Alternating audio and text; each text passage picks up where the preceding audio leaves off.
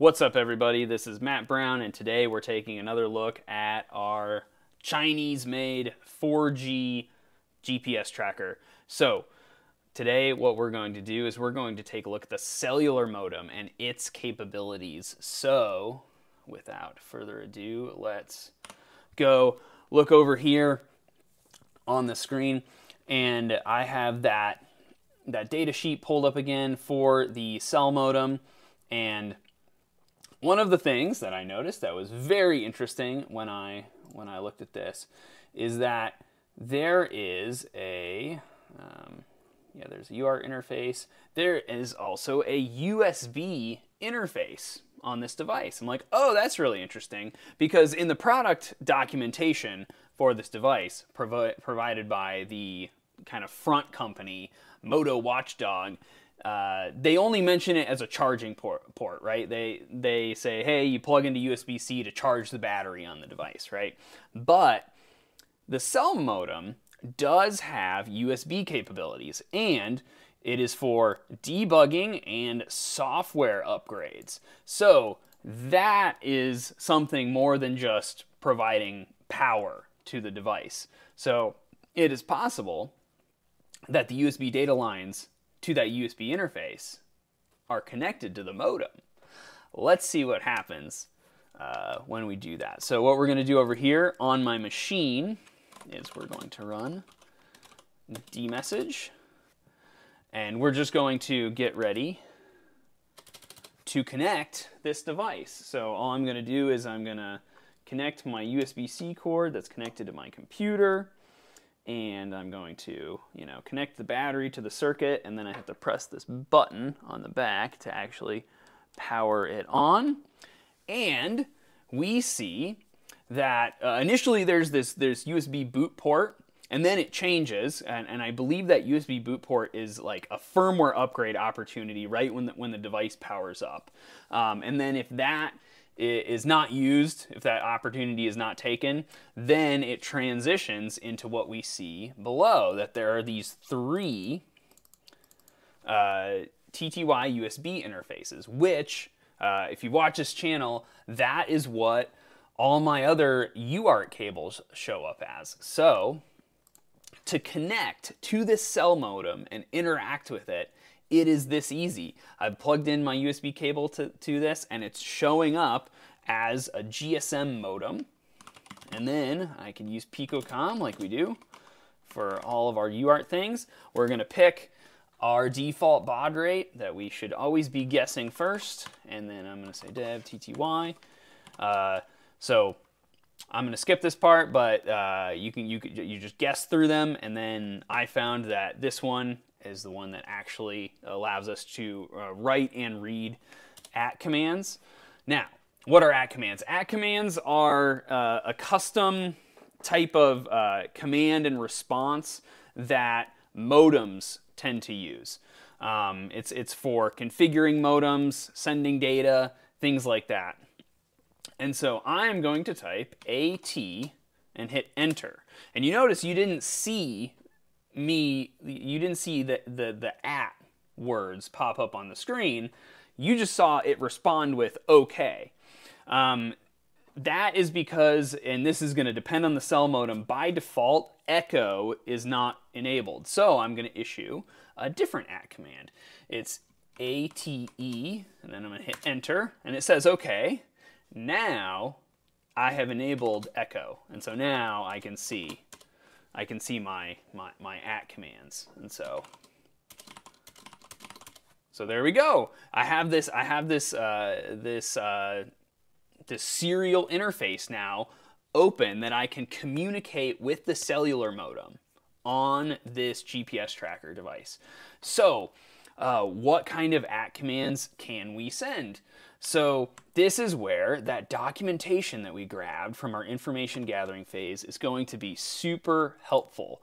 So uh, like I mentioned in that video, these at commands are there's a subset of them that are going to work on any cell modem, but it is really helpful to have the documentation that is specific to your cellular modem that you are interacting with because that is going to allow you to uh, have the specific commands and any quirks and differences between the modems, you're going to understand that. So, um, so this this is going to be a great command to start with. So, display product identify identification information. Um, and you'll notice that uh, as, as we go through and look at these commands, so this command just has an execute type. So each command will have like a core command and then it will um, and then it will have things where you can say like equals question mark. If you want to like identify the command if you want to do a read it will just be it's just question mark i believe.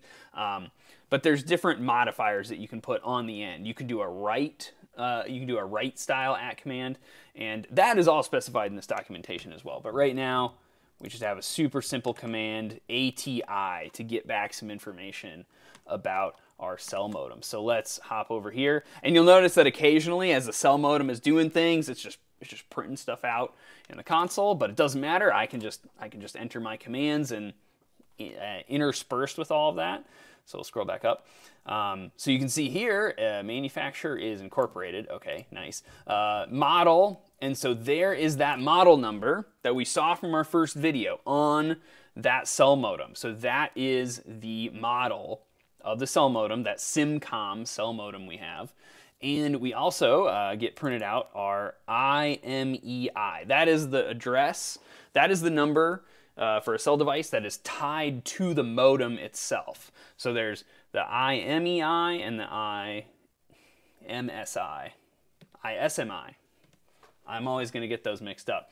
So the, the, the MZ and the MZ, right? And so uh, this one is obviously identifying the hardware, and then I have another command down here to get the number that is tied to my SIM card. So here's my, my SIM card's identification number. Uh, I'm not going to be using this much longer uh, for those of you that have funny ideas about that. Um, so I just have some other commands in a, in a list here, and so I'm just going to go through some of these commands. And so uh, another really interesting one is to get the IP address that is assigned to my modem. Now, if I issue this, you'll see back I just get 0.0.0.0. That is because in this basement, I get terrible cell signal, and this modem is not actually connecting properly. So, to demonstrate some other commands, I'm, we're actually going to view a video that I pre-recorded of me on my driveway uh, on my laptop. So here we go, and I'm just going to kind of narrate this. So uh, yeah, very similar setup, right? Connected to that um, that that uh, TTY number two. Um, running this command to see what network operator I'm connected to. And then you see I do get a private IP address back from that command to get my IP address. Notice it's a local IP. Now I'm going to run a command to get my APN. This is going to be super interesting here. And notice that, notice that identifier. So that is the private cell network that this SIM card is associated with. And now what I am going to do, I'm gonna, I'm gonna, I'm gonna pause the video here. So now what I'm getting ready to do is send a ping command. There's an at command where I can send an ICMP ping command through the cell network and out to the internet and what this is going to do is I'm going to ping my, my, my public uh, um, DigitalOcean server, and then I'm going to be able to run a packet capture on my DigitalOcean server, and I will see the egress IP address for uh, the SIM provider's infrastructure for their cell network, for this private uh, APN. And so we're going to do that. And then we get the ping back. So we get the ping back from this three dot something IP address. So that is the public IP that my traffic is coming out of when it leaves this private cell network. And so, um, so again, so we have that IP and then we have the name of that private APN. And that's going to let us go do a little more digging. So I'm going to exit out right now of my my serial interface that I had, my serial session I had with the cell modem. And I've got that IP address right here. And so we're just going to run whois on it. And that's going to print out a bunch of information. And we can see uh, very clearly that this is being hosted in AWS. So uh, this server, yeah, is, is, is hosted in, up in AWS is where they're getting it from. And they're not allowing any traffic inbound, which is a, a good thing. That's good good secure cell network. So we also have this identifier right here. Uh, this is the APN. Again, so there are, uh, the APN is this value that your, your, your cell phone sends to the tower. So, so this company right here that this identifier is associated with, they do not, they are not network operators, right? They are not putting cell phone towers out there, right? They're not like, you know, Verizon, Sprint, T-Mobile, AT&T who are going around putting up cell infrastructure. No, so they use those network operators, they partner with those network operators.